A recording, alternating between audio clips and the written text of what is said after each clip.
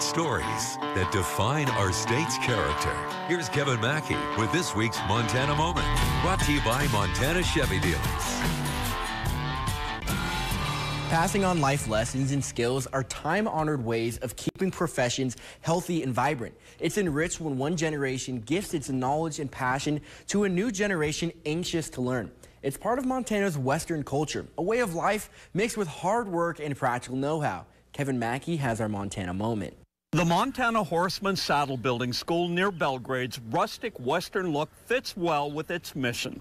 Here, students learn the art of western saddle making. I'm Ben Merritt from uh, Nephi, Utah. Debbie Moran. I'm Isaac Trueblood and I'm from Kansas. Isaac, Debbie, and Ben are learning saddle making under Dale Moore, the school's founder and master saddle maker. Dale's love of saddles began as a youngster growing up on a ranch in Oregon. Trying to fix up old old saddles. You'd never know it, but Dale is 92 years old. There's just not a lot of people that have that much knowledge and still going at it at 92 years old. He became a teacher. He taught school in Helena, where he'd climb the ranks to become a principal in Helena, then later a superintendent in Jordan, Montana. When I retired, I got to thinking that somebody might like to learn my hobby of building a Western saddle. When he and his wife Norma started the school more than 20 years ago, they discovered there were a whole lot of students who wanted to do just that.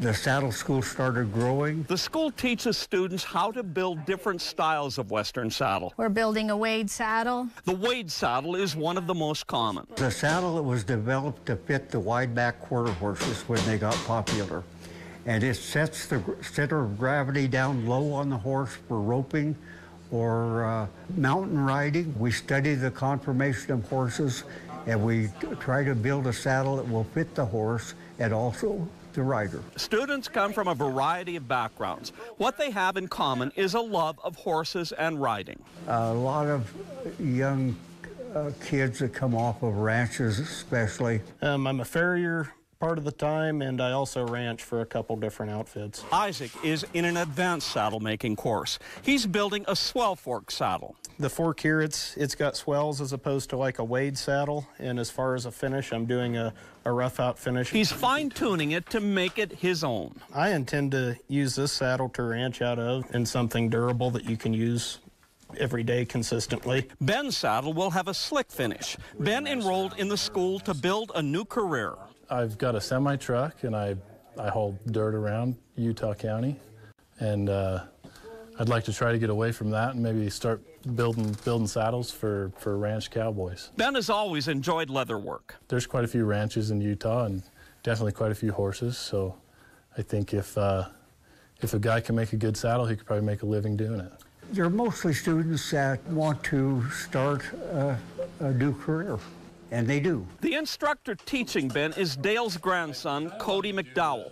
Cody is following in his grandpa's footsteps. I would like to continue grandpa's legacy with the shop as well as be a saddle maker as good of a saddle maker as I can be. Cody says his grandpa taught him that there is magic in leather work. Just a flat piece of leather and turn it into a working piece of art, essentially. It's just amazing to me. Luke Downing built his first saddle here several years ago. And for the last nine years, I've made probably a dozen saddles and kind of do it on a recreational basis. Luke passed the skills Dale gave him as gifts to his own family. Just finished a saddle for my granddaughter. The school has graduated several hundred students, many from all over the world. Germany, Switzerland, South Africa, England, uh, Ireland, Norway. The school is approved for veterans training. And we have a lot of those students come through the school, especially those that have worked on ranches, that kind of a background. Many are disabled veterans. Dale says vets tell him this highly focused, creative work is the best therapy they've found. Dale, the teacher, says at 92, nothing gives him more joy than seeing students excel. The student will react to what he has done, and you see the proud look on their face. That's, that's joy for me. It is an intensive four-week program that requires a student's full attention and time.